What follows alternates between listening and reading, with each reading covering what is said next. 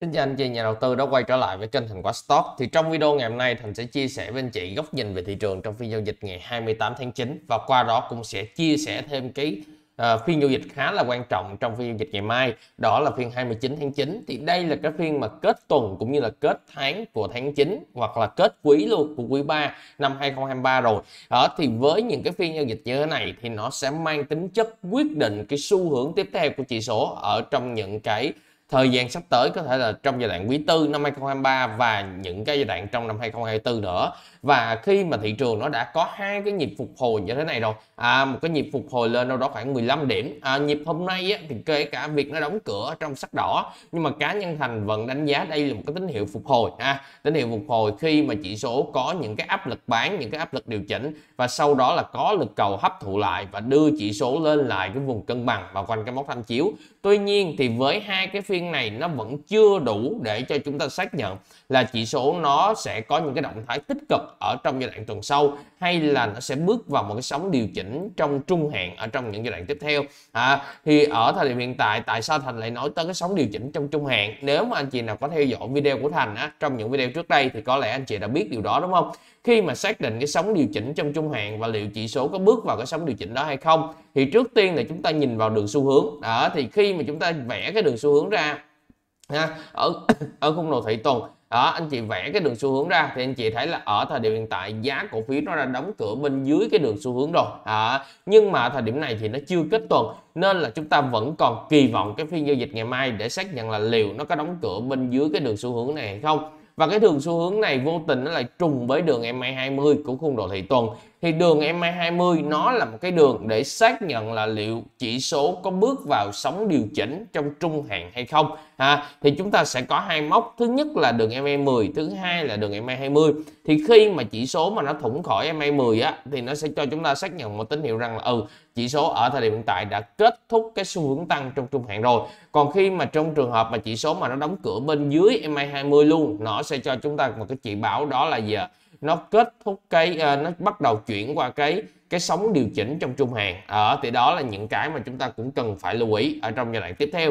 Thì có thể nói đây là một cái thời điểm chuyển giao ha một cái thời điểm chuyển giao giữa từ một cái sóng tăng và nó chuyển giao sang cái sóng giảm. Nó cũng giống như là một cái giai đoạn phân phối của của thị trường trong giai đoạn trước đây thôi. Nhưng mà cơ bản ở đây nó chỉ là cái nhịp hồi thôi nên là mình cũng chưa thể nào đó mình dùng cái từ phân phối được ở cái thời điểm hiện tại. Đó nên là anh chị nào có đầu tư thì mình cũng nên lưu ý và mình cũng nên cân nhắc thì chính vì cái lý do này nên là trong phiên giao dịch ngày hôm nay thành cũng khá là thận trọng và thành không có bảo mua mới và đặc biệt là trong ngày hôm qua thì anh chị nào có xem video của thành thì thành cũng có nói rõ quan điểm luôn thì thành không có mua mới trong vòng hai phiên cuối tuần này có muốn mua mới gì đó thì sẽ chờ ở phiên gì ạ à?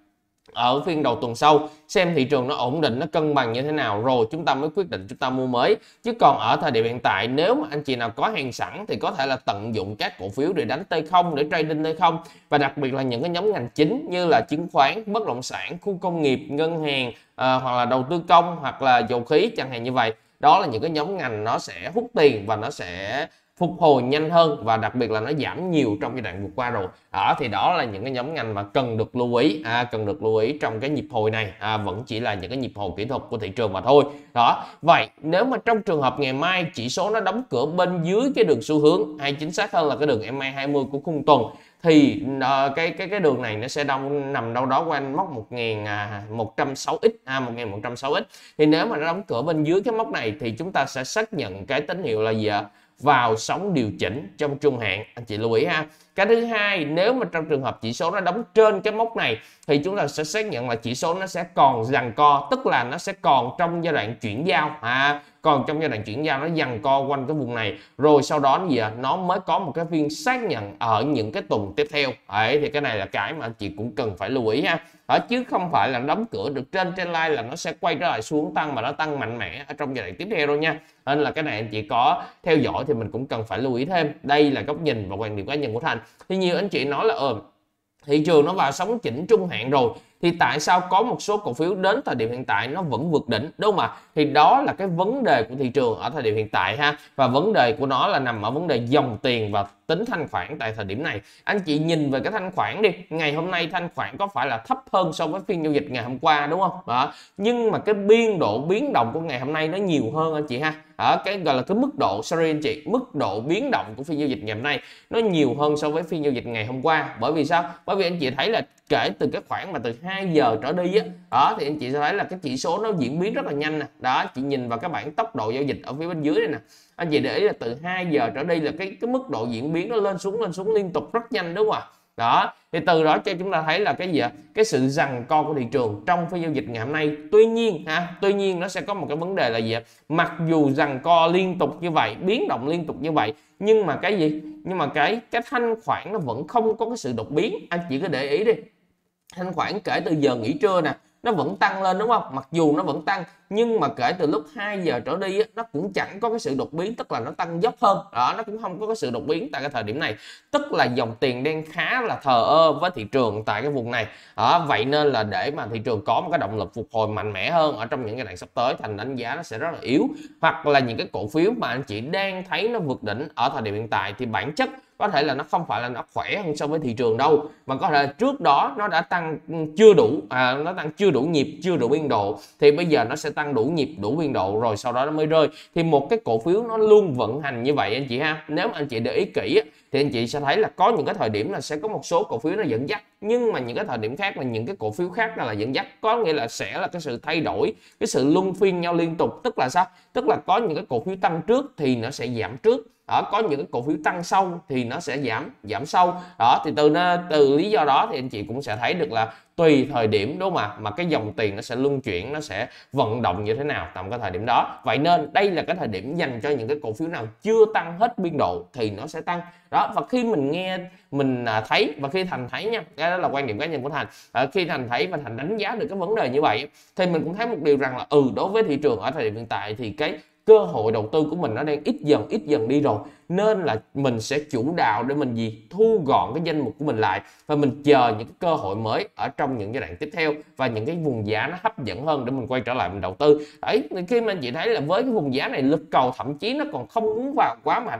Mặc dù là lực bán ở đây nó không có rồi đúng không anh ạ? à? Nếu mà lực bán ở đây nhiều quá thì chắc chắn là nó sẽ không giữ được ở mức này đâu.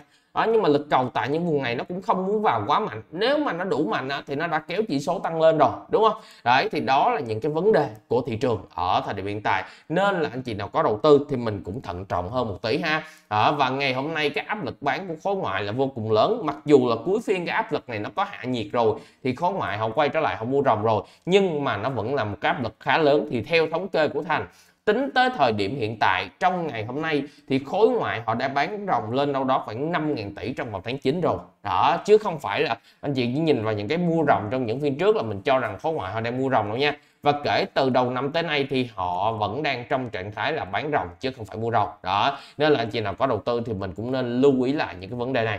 Và trong phiên giao dịch ngày hôm nay, cái đà hồi của chỉ số nó tập trung nhiều vào các cái cổ phiếu trụ và một vài cái cổ phiếu ngân hàng để kéo chỉ số trong phiên giao dịch hôm nay. Đó, thì đó là những cái yếu tố mà anh chị cần phải lưu ý.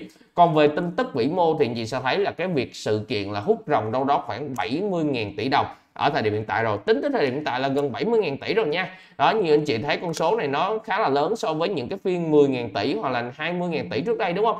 Nhưng mà ở thời điểm hiện tại tổng cộng nhà nước đã hút rồng đâu đó khoảng 70.000 tỷ rồi. Ấy vậy nên là anh chị thấy là bởi ở thời điểm hiện tại cái tốc độ hút rồng về nó rất là nhanh đúng không? Nhưng mà sao ạ? À? nhưng mà cái tâm lý nhà đầu tư của mình đã quen với cái việc này rồi. Đó nên là cái tin tức mà hút rồng về hút tiền về của ngân hàng nhà nước á, gần như là nó không còn quá bất ngờ với với với tâm lý người dân nữa à, tâm lý nhà đầu tư nữa. Đó và có những cái cái dự đoán cho rằng thì con số này có thể lên trăm ngàn tỷ hoặc là trăm ba mươi ngàn tỷ. Nên là những cái biến những cái tác động ở thời điểm hiện tại về mặt tâm lý là nó sẽ không nhiều. Tuy nhiên thì nền kinh tế ở thời điểm hiện tại cũng chưa mấy gọi là chưa mấy uh, tích cực và chưa mấy sáng sủa về giai đoạn cuối năm. Và những cái chính sách để mà tháo gỡ về mặt thanh khoản thì nó vẫn chưa có. Vậy nên là cái báo cáo tài chính quý 3 và báo cáo tài chính quý 4 sẽ là những báo cáo tài chính phản ánh rõ nhất các cái ngành nghề ở thời điểm hiện tại. Đặc biệt là một số số ngành tăng theo kỳ vọng như là đầu tư công như là bất động sản hoặc là một số cái nhóm ngành mà có sự hụt hơi về giai đoạn cuối năm như là ngân hàng à, đó sẽ là những cái nhóm ngành mà nó sẽ có thiên hướng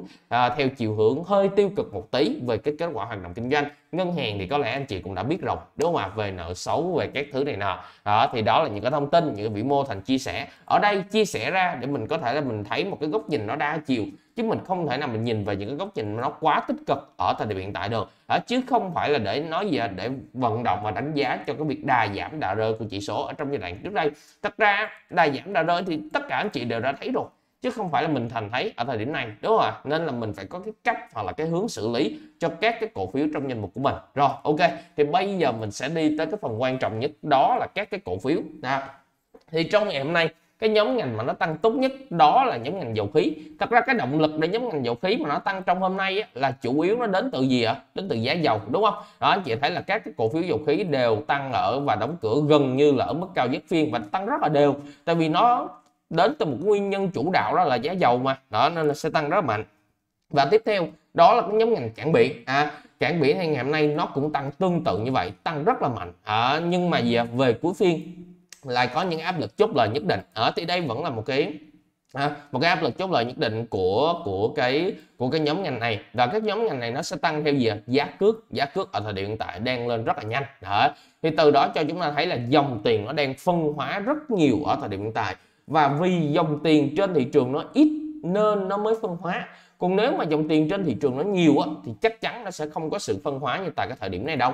Và khi mà anh chị nhìn về cái nhóm ngành mà được chúng ta kỳ vọng nhiều ở trong những phiên giao dịch vừa qua đó là những ngành chứng khoán thì nó cũng có sự phân hóa nhất định đúng không ạ? Các cái cổ phiếu như là VND nè hoặc là HCM nè các cổ phiếu này nó đã gì ạ? Nó đang giảm rất là mạnh trong phiên giao dịch vừa qua rồi. Còn ngược lại, các cổ phiếu như là CTS nè, hoặc là BSI nè ở các cổ phiếu này nó lại phục hồi rất là tốt ở thì đây cũng là những cái yếu tố mà cho chúng ta thấy là có sự phân hóa rất mạnh về dòng tiền. Và khi thị trường mà nó đã có sự phân hóa về dòng tiền á thì cái đà tăng đà phục hồi của nó sẽ không đủ mạnh sẽ không đủ hấp dẫn để mà thu hút dòng tiền ở trong những giai đoạn phía giai đoạn về sau. Nên là cái này cũng là một cái điều để mà anh chị cần chú ý và lưu ý hơn. Vậy nên là những cái cổ phiếu nào đó mà anh chị bắt đáy anh chị vào hàng được giá tốt trong những phiên giao dịch vừa qua thì anh chị cũng chủ động à, chủ động mình giờ những cái stop loss giờ những cái vùng chặn lại cho nó phù hợp để thứ nhất là mình phải bảo vệ được cái vốn của mình trước đã. Tại vì nếu mà anh chị bắt đáy trong những phiên giao dịch vừa qua tính tới thời điểm hiện tại nếu mà tốt á, thì anh chị cũng lãi đâu đó khoảng được 10 phần trăm đúng không ạ? 10 phần trăm là cao nhất ở thời điểm này. Còn nếu mà xấu hoặc tệ hơn thì mình có thể là quanh giá vốn hoặc là đâu đó một hai phần trăm thôi. Mà cái một hai phần trăm chỉ cần thị trường nó quay đầu nó đảo chiều như thế này thôi là anh chị đã mất rồi và đâu đó là mình dẹp đã âm vào vốn của mình luôn rồi. Và nhiều khi nó sẽ rơi rất là nhanh và mình sẽ không kịp xử lý đâu. Đó như anh chị nói là à, nếu mà thủng giá vốn mình bán đôi khi nó rơi rất là nhanh. Anh chị quay đi quay lại là nhìn vào là nó đã rơi rồi. Đó nên là sẽ rất là khó để mà anh chị có cái cơ hội anh chị xử lý đúng không ạ? Đấy thì đó là cái mà thành muốn chia sẻ với anh chị trong video ngày hôm nay. Vậy nên nếu mà xác định mua mới thì cứ chờ sang tuần và nếu mà sang tuần mua thì nên chú ý vào nhóm ngành nào để mua. Thì trước tiên thì mình cũng sẽ chú ý vào nhóm ngành chứng khoán rồi. Bởi vì đây là một cái nhóm ngành mà nó dẫn dắt mà. Nếu mà thị trường thuận lợi thì nó có thể là tăng lên một nhịp nữa. À, cái thứ hai là cái nhóm ngành mà thành thấy là có câu chuyện có kỳ vọng nhưng nó chưa tăng. Đó là gì ạ? Nhóm ngành đầu tư công tức là nó chưa phục hồi quá mạnh ha. Thì với nhóm ngành đầu tư công này anh chị vui lòng lọc ra giúp thành những cái cổ phiếu nào nó còn giữ xu hướng thì chúng ta mới đầu tư được. Ví dụ như VCG vẫn còn giữ xu hướng tăng trong trung hạn thì anh chị có thể là theo dõi để sang tuần sau mình đầu tư. À, hoặc là con như con LCG thì con này nó đã gãy xu hướng tăng trong trung hạn rồi. Nên là anh chị gì? Anh chị bỏ qua. À, mình không có đầu tư cổ phiếu này. Hoặc là HHV HHV mình phải kẻ cái đường xu hướng tăng trong trung hạn ra xem nó còn giữ được hay không. Thì may mắn là nó vẫn còn giữ được cái đường xu hướng tăng này. Thì mình sẽ kỳ vọng à mình sẽ kỳ vọng là cái nhịp phục hồi của nó được từ cái vùng này. À, hoặc là con gì hoặc là con FCN FCN ở thời điểm hiện tại mình vẫn phải kẻ cái đường xuống tăng trung trung hạn ra xem nó còn giữ được hay không. Và với cá nhân thành đánh giá thì nó đã gãy rồi. Và khi gãy như thế này thì bỏ qua luôn ha mình không có đầu tư nữa. Tiếp theo là mình sẽ kể đối với gì ạ? DBG những cái cổ phiếu này nó cũng sẽ có những cái dự án về đầu tư công. Đó. Nên chị thấy là gì ạ? Nó đã gãy rồi thì thôi bỏ qua. Ấy và tiếp theo là gì? CTD à, mình sẽ kể ra thử xem nó sẽ vận động như thế nào. Thì mình để mình lọc ra rất là dễ anh chị. À, con nào mà nó giữ trend được con nào mà nó bám xu hướng được á, thì mình đánh tiếp. Con nào mà nó không bám xu hướng được á, thì mình bỏ qua. Đó thì anh chị cũng lưu ý ha. Đấy thì những con này nó vẫn giữ được nhưng mà sao cần phải có thị trường nha ở nhiều anh chị cứ cho rằng là con này khỏe con kia khỏe nhưng mà anh chị lưu ý với thành một điều là 80 cho tới 90 phần trăm cổ phiếu trên thị trường sẽ vận động theo thị trường. Nên là mình không có thể tránh khỏi được và đặc biệt là những cái con anh chị đầu tư á, phần lớn là những cái con hàng thị trường không à chứ không phải là những cái con mà penny hay là những cái cổ phiếu mà mà mà lái này nọ đâu. Ở phần lớn nhà đầu tư, chúng ta đầu tư ở thời điểm hiện tại là toàn là hàng thị trường không mà thời điểm này có ai mà ôn vào hàng lái mà chắc chắn là không, đúng không? Đấy, thì đây cũng là một cái điều mà để mà anh chị cần lưu ý và cần chú ý ở thời điểm hiện tại ha. Tiếp theo là con CI thì con này nó vẫn giữ được cái trend line tăng trong trung hạn. Thì mình sẽ chờ à mình sẽ chờ nó về lại những cái đường trend line phía bên dưới có thể là quanh 18 ở nó về lại đây, nó bật lên được thì anh chị sẽ quay trở lại tham gia trong giai đoạn sắp tới đó, và tiếp theo là con C4G đây C4G thì nó gãy trend rồi, thì thôi bỏ qua. Đó, thì mình sẽ có VCG nè HHV nè, và C CG và là gì ạ? CTD thì những con này anh chị sẽ theo dõi lại và mình sẽ tiến hành, mình đầu tư ở trong giai đoạn gì ạ? Thứ hai tuần sau, chứ ở thời điểm hiện tại phiên giao dịch ngày mai thành cũng không mua mới. Và đặc biệt, anh chị nào có hàng sẵn thì có thể là trading t không này nọ các thứ nó sẽ dễ hơn và nó sẽ hiệu quả hơn. Còn nếu mà anh chị không có hàng sẵn trong tài khoản thì thôi tạm thời là anh chị cứ uh, theo dõi thị trường và chờ nó cái phiên ngày mai để nó xác nhận xem như thế nào. Còn nếu mà đóng cửa bên dưới 116x thì sao ạ? À? xem như bỏ qua. À, mình tìm các cơ hội tìm các nhịp hồi là để bán chứ không có cơ hội để mình mua mới nữa ở trong những giai đoạn tiếp theo. Nên là anh chị nào có đầu tư thì mình cũng lưu ý lại cái vấn đề này nha rồi ok ha. Rồi thì mình sẽ quay lại một số cái nhóm ngành chủ đạo đi. Đó thì nãy thằng có nói là về đầu tư công rồi đúng không? Đó, thì mình bây giờ mình quay lại với nhóm ngành à, nhóm ngành ngân hàng thì cá nhân thành thấy nha. Cá nhân thành thấy thì một số cổ phiếu nó đang phân hóa rất là mạnh đó. Một số cổ phiếu thì nó đã phục hồi lên nhưng mà những cái cổ phiếu như VBank thì nó phục hồi lên nè. Còn những cổ phiếu như là VIP thì nó đã gãy trend này nè. Hoặc là Vietcombank thì nó cũng đã gì à? Nó cũng hồi nãy mình có xem là nó đã rơi khỏi cái trend rồi. Để mình vẽ lại ha cho nó chính xác một chút đấy như công việc Combank nè. Đấy thì nó đã rơi khỏi cái trend rồi. Hoặc là con gì à? TVBank ở nó cũng đã thủng trend rồi. Hoặc là con gì à? Techcom thì nó cũng đã thủng rồi. Đó thì những cái con như thế này nó đã thủng trend rồi thì sẽ rất là khó đúng không? Và phần lớn các cổ phiếu ngân hàng đều đã thủng trend hết rồi. Thì vậy nên cái cơ hội để mà chúng ta quay lại chúng ta đầu tư cho nhóm này á, gần như là sẽ khá là yếu trong giai đoạn sắp tới. Mà ngân hàng thì anh chị biết rồi nó tăng thì nó tăng khá là chậm đúng không ạ? Đó nên là anh chị nào có đầu tư thì lưu ý. Còn về bất động sản ở thời điểm hiện tại thì mình cũng đương, tương tự như vậy. Mình né mấy con gãy trend ra con nào còn trend thì chơi. Ví dụ như cũng BDR đi. Đó còn trend thì mình có thể là theo dõi một là cái trend ngắn hạn trên này hai là cái trend trung hạn bên dưới này để quay trở lại mình đầu tư.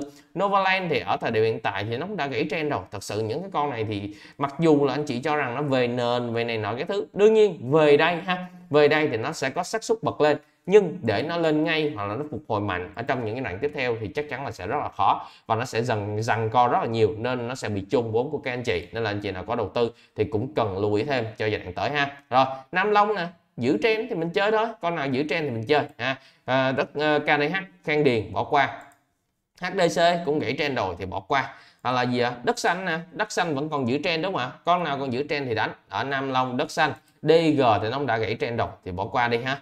CEO CEO thì đoạn này gì ạ? Vẫn còn giữ trend. Thì đó, mình xem nhịp tới xem như thế nào. Rồi mình sẽ quyết định là mình vào lệnh đối với CEO trong giai đoạn sắp tới. Đó. mặc dù là gì ạ? Cổ phiếu này nó mang hơi hướng đầu cơ một tí, nên là anh chị nào có đầu tư thì mình cũng gì? Đưa cái tỷ trọng mình vừa phải đối với cổ phiếu này thôi. Đó, nên là anh chị nào có đầu tư thì mình cũng cái cần lưu ý thêm ở trong những giai đoạn sắp tới ha rồi về ngành dầu khí thì nó đã tăng như thế này rồi, thật sự thành cũng không khuyến khích anh chị mua. Đó, như thành nói, những cái cổ phiếu mà tăng trong phiên giao dịch ngày hôm nay, tức là nó đi tăng chưa đủ biên độ thì bây giờ nó sẽ tăng theo, tăng thêm ở một cái nhịp nữa thôi. Đó, thì nhịp này có thể là những cái nhịp cuối của các cái cổ phiếu này rồi. Nên là anh chị nào có đầu tư thì mình cũng có thể là lưu ý thêm ở trong giai đoạn sắp tới ha. Ở mình phải chọn lựa những cái thời điểm phù hợp để mình vào lệnh. Chứ ở những cái thời điểm như thế này, nó sẽ không thuận lợi để anh chị vào lệnh trong giai đoạn sắp tới ha. Ở anh chị nào có đầu tư thì cũng cần phải phải lưu ý thêm. À, đó là về nhóm ngành dầu khí. Đầu tư công thì nãy là có chia sẻ rồi đúng không? Khu công nghiệp đi ha.